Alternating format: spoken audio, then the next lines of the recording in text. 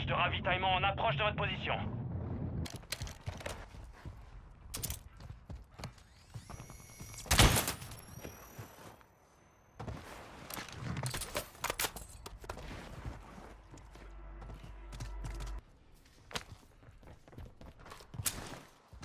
Je place une mine à dispersion.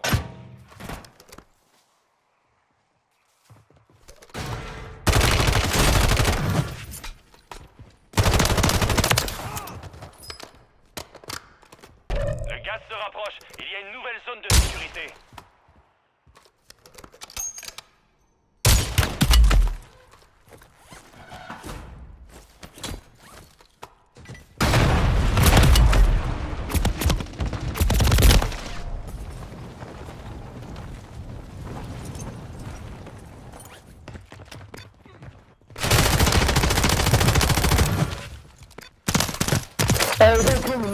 Me, man. We can talk about this. Don't kill me, man.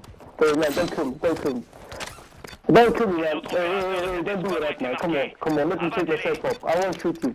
I will give you all my money. All my money.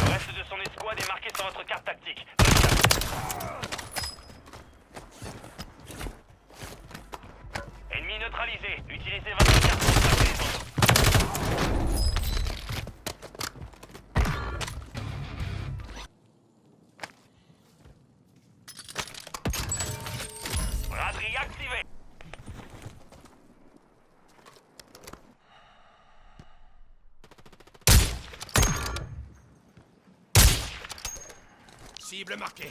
Demande de frappe aérienne. Bien reçu. Phoenix 2-3 est sur zone. Frappe. Belle élimination. Le reste de son escouade est marqué sur votre carte tactique. Bonne chance.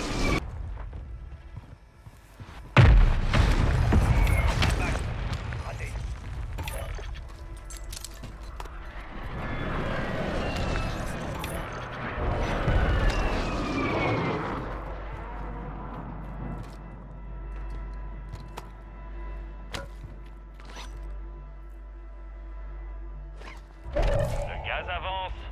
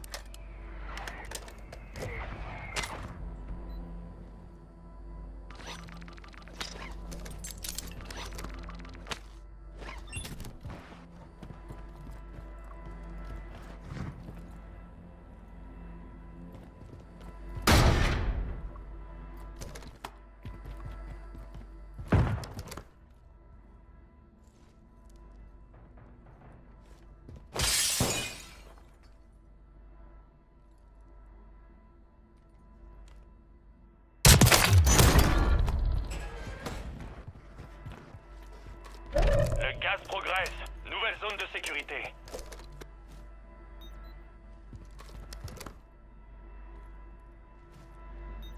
Le gaz se propage.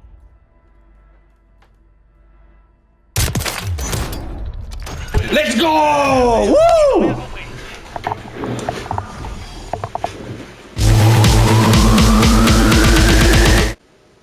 Petits potes, c'est Rookie. Aujourd'hui j'ai joué avec le FJX Imperium. Euh, J'avais déjà fait une vidéo dessus euh, où on comparait un peu au car 98.